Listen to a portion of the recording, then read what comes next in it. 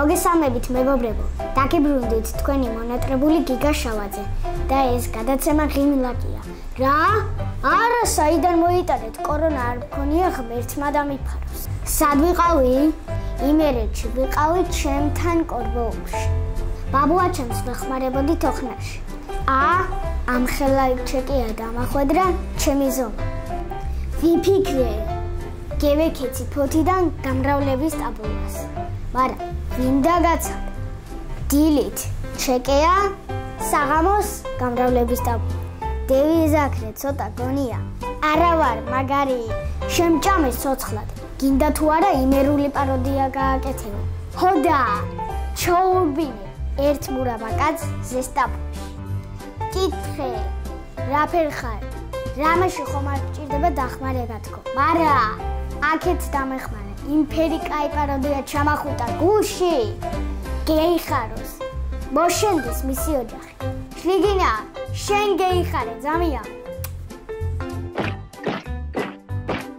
მიდი, მიდი,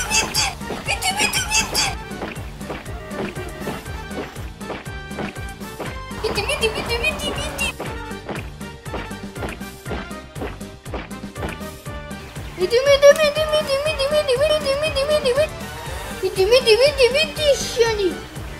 აბა კუპაშვილი აბა მითხარი რა არის სამშობლო? სამშობლო არის ის ადგილი სადაც მე დევიბადე სადაც მე გევიზარდე სადაც მე გევიარ გამედი არა კუპაშვილი სამშობლო არის შენი დედა.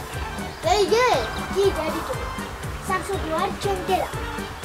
ვიდი ვიდი ვიდი შენი აბა დატონაშვილი, აბა მითხარი რა არის სამშობლო? სამშობლო აი უბაშილის დედა. არა, არა დატონაშვილი, სამშობლო შენი დედაც. გეიგე? კი, გეიგე. რა გეიგე? მე და უბაშილი ძმები ვყავი. რაი?